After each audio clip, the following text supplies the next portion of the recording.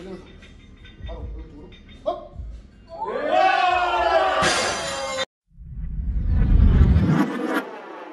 소개 한번 부탁드리겠습니다. 안녕하세요.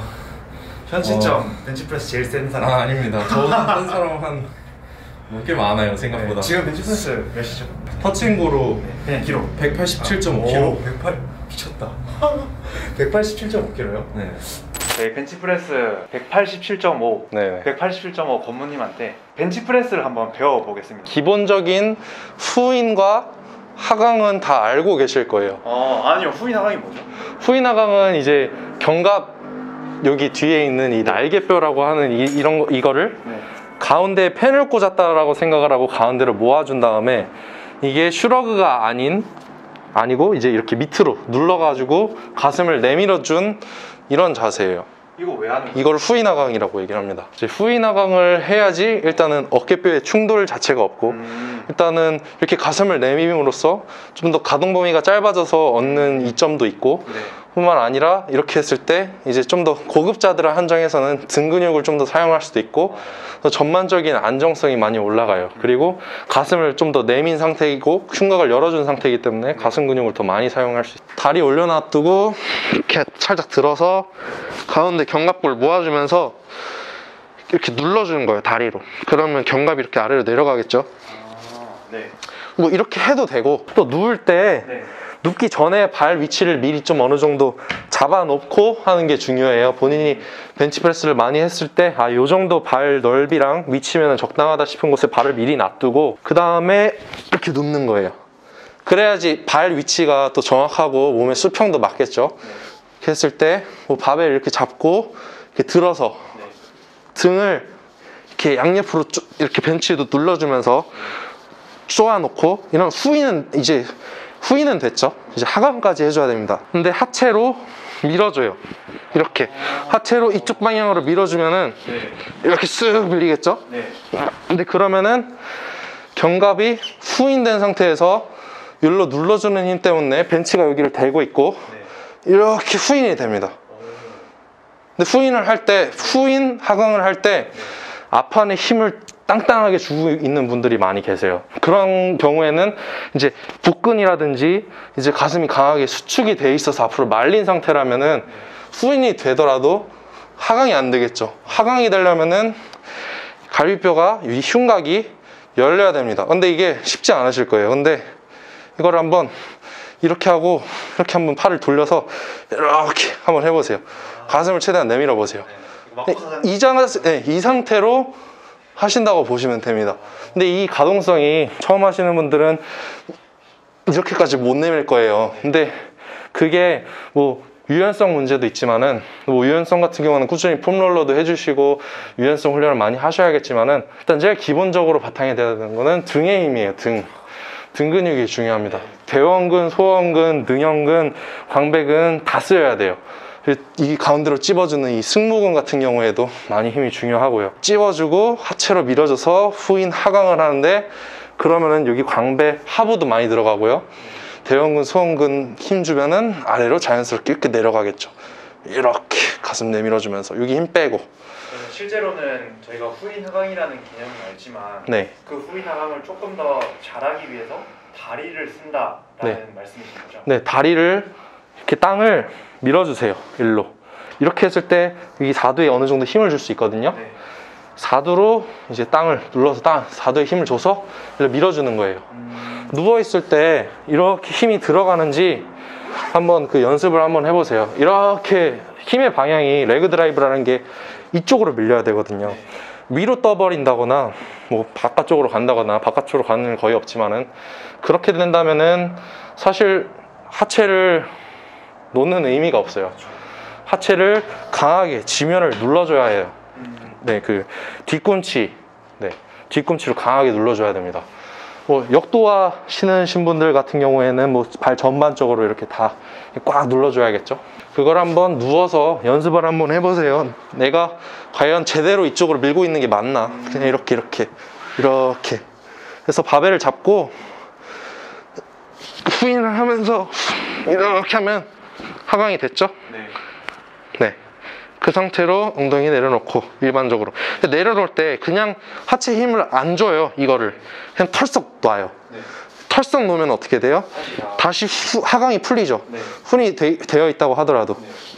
그렇기 때문에 이 힘을 그대로 유지해 줘야 돼요 이 하체 힘을 지금 누르고 있잖아요 네. 후인 하강 되어 있죠 네. 그대로 유지해 주면서 엉덩이를 내려놔야 하는데요 고정을 똑같이 시킨 대로 하체만 그냥 이렇게 간당간당하게 내려놓는 느낌 네 근데 엉덩이는 다 붙여야죠 네. 간당간당하게라는 말이 하체 힘을 풀면서 이렇게 엉덩이만 살짝 떠 있으라는 게 아니라 사두 힘은 그대로 들어간 상태에서 이렇게 눌러서 와, 어려운데. 눌러서 네. 이렇게 와, 연습을 한번 해보세요 그런 그. 네, 이거에 관해서 또 다른 팁을 풀 기회가 있다면 나중에 풀겠습니다. 그리고 혹시나 하나를 하고 두 번째를 할 때 이런 분들도 많이 계세요. 하나를 할 땐 괜찮은데 가슴이 무너져요, 밀면서. 네. 그래서 두 번째 하려고 그러면 setup이 다 풀린 상태로 하려고 그러니까 힘들단 말이에요.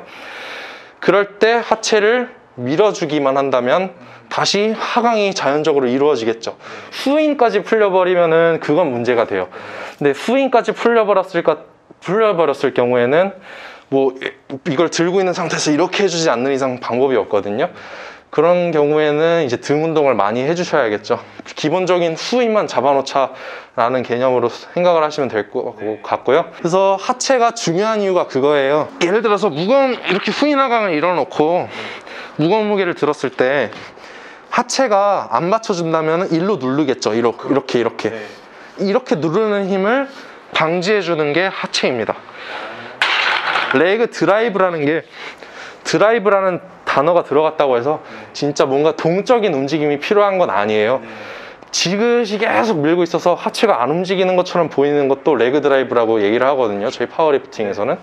그렇기 때문에 내가 하체 힘으로 과연 이 아치를 제대로 지지하고 있는지에 대해서 생각을 많이 하시는 게 좋을 것 같아요. 이런 느낌이에요. 벤치, 벤치, 이제 파워리프팅에 있어서 벤치는 그냥 엉덩이를 닿았는지 안 닿았는지 룰을 보여줄 수 있는 그냥 기준일 뿐이거든요. 네. leg drive를 제대로 사용하고 있다면은 이렇게 하고서도 벤치 프레스를 할 수 있어야 돼요. 그렇구나. 네, 이렇게 하고서 그냥 이런 원리예요. 안 떨어지잖아요. 안 떨어지게 하체로 밀어주고 있어야 돼요. 만약 이렇게 하고 벤치프레스 가져와서 엉덩이 내려놓고 이렇게 할 수 있으면은 벤치프레스 벤치가 존재한다면 더 안정적으로도 할 수 있고 어, 비슷한 느낌으로 할 수 있어요. 이렇게 하시고 하체로 쭉 하체로 쭉 그러려면 여기에 힘 풀고 여기 힘이 빳빳하게 들어갔으면 안 내려가요. 이 힘 풀고 이렇게 그럼 갈뼈 나오죠. 그러면 잘 된 거예요. 이렇게 이렇게 그렇게 하고 하체 힘 어느 정도 유지해주면서 밀어주면서 여기 벤치를 대상으로 이렇게 등 힘 등 힘 주고 밀어주면서 엉덩이면 살짝 살 붙이고 호흡 크게 하고 들고 여기 위에가 아니라 팔꿈치가 팔꿈치 팔이 수직이 되는 지점까지 가져오고 호흡 내리고 up. 이렇게. 근데 그 와중에도 하체 힘은 계속 주고 있어요. 이렇게 하더라도 할 수 있다. 양옆에 조여주고 힘 주고 엉덩이 내리고.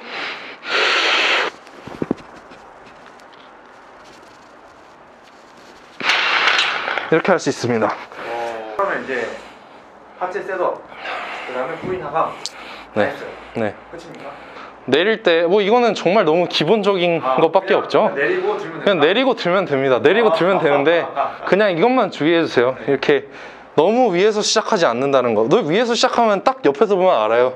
이게 후임만 돼 있으면은 팔꿈치 팔 이게 팔이 땅이랑 수직이 되어 있어도 이렇게, 이렇게 되거든요. 네. 네, 후임만 되어 있으면 후인 하강이 제대로 이루- 이루어졌다면은 여기 배에는 힘 빼고 가슴 여기 흉곽 요 갈비뼈 이게 나와 있고 하강까지 제대로 하체로 이루어졌 이제 만들어 놨다면은 아 이 상태에서 등까지 쪼아줘서 이렇게 만들어 놨다면은 팔이 땅이랑 수직이 되는 지점까지 가져와서 내리고 내렸을 때도 마찬가지로 파- 땅이랑 수직이 되는 지점까지 내리고 그다음 올리면 되는 거죠. 올릴 때 또 간혹 앞쪽으로 미는 분들이 계세요. 여기서 그대로 미는 분들 계세요. 근데 그대로 매면은 내릴 때 뭐 사람마다 다르겠지만 아치가 큰 분들은 수직으로 내려갔다 올 수가 있거든요. 네. 근데 아치가 보통 그렇게 많이 안 나와요. 일반인들은. 그렇기 때문에 좀 사선으로 내려가잖아요. 네. 이 팔을 팔의 각도를 수직으로 유지해 주려면 뭐 그 부분은 이제 영상 찍으면서 스스로 계속 보면서 어떻게 하면 될까 연구를 한번 해보시고 그래서 대각선에 어느 정도 대각선의 각도를 만들었을 때 밀 때 그대로 밀 이쪽으로 밀지 마시고 살짝 살짝 이쪽으로 밀어주세요. 밀다가 밀다가 막히면은 일로 미세요 일로 살짝. 근데 이렇게 밀라는 게 아니에요. 그러면 그냥 목, 목 잘려. 목 잘리는데 그래서 밀다가 이- 안 움직이잖아요? 네. 그러면은 이렇게 벌리지 말고 이건 유지해준 가슴 연관을 유지해준 상태로 일로 밀어주세요 살짝 그러면 쓱 올라갑니다 근데 항상 그렇게 위험한 도전을 할 때는 뒤에다가 누구 도시고 그리고 어, 스스로의 한계를 어, 너무 낮게 보지 마세요. 이건 정말 뭐 진부한 얘기일 수 있지만은 제가 벤치프레스 옛날에 100kg에서 7개월 동안 정치였던 적이 있어요. 제가 스스로 아 딱 한계를 걷다가 그어놨던 것 같아요. 아 나는 저는 그때 평생 목표가 140kg였거든요. 그리고 180kg는 진짜 뭐 약물하고 진짜 정말 인생을 갈아놓은 사람만이 가능할 거라고 생각을 했어요. 근데 어느 순간 보니까 내가 120을 하고 있고 어느 순간 보니까 140을 하고 있고 어 160을 하고 있고 180을 하게 됐죠. 그러니까 뭐 이게 사람의 한계라는 게 생각보다 높다라는 거 충분히 그래도 140은 무조건 하실 수 있습니다. 그 유전자가 안 좋은 그 누구라도 뭐 체중이 뭐 그래도 어느 정도 70kg 넘는다는 전제하에 140kg는 누구나 할 수 있다고 생각을 해요. 저는 누구나. 복 크게, 크게. easy, 타이트하게. easy, 할수 있어요. 등 up. up, up, up, up. more. 하나 더, 하나 더. 할 수 있어. 복 크게, 등 조여주고.